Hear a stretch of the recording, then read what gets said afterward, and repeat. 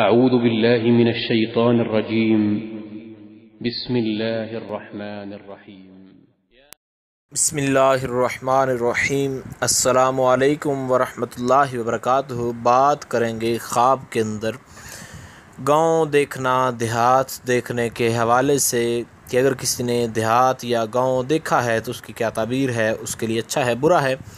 اس حوالے سے گفتگو کریں گے، اس سے پہلے آپ سے یہ گزارش ہے کہ اگر آپ نے ہمارے چینل کو سبسکرائب نہیں کیا تو ضرور سبسکرائب کریں، کیونکہ روزانہ اسلام فکی مسائل اور خوابوں کی تعبیرات کے حوالے سے ویڈیوز جو ہیں اپلوڈ کی جاتی ہیں۔ حضرت امام ابن سیرین فرماتے ہیں کہ اگر خواب میں دیکھے کہ کسی نامعلوم گاؤں کے اندر ہے تو خیر اور نیکی کی دلیل ہے اور اگر اس گاؤں کا نام معلوم ہے تو یہ بدی پر دلیل ہے۔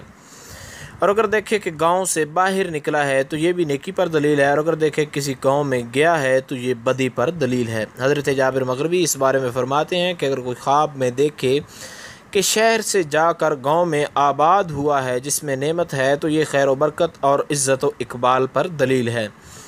اور اگر اس کے خلاف دیکھے کہ بصورت دیگر یعنی شہر گاؤں سے شہر میں جا کر آباد ہوا ہے تو یہ بدی اور بد بختی پر دلیل ہے۔ اور اگر خواب میں دیکھے کہ کسی گم شدہ گاؤں کے اندر گیا ہے تو یہ خیر پر دلیل ہے، بلائی پر دلیل ہے۔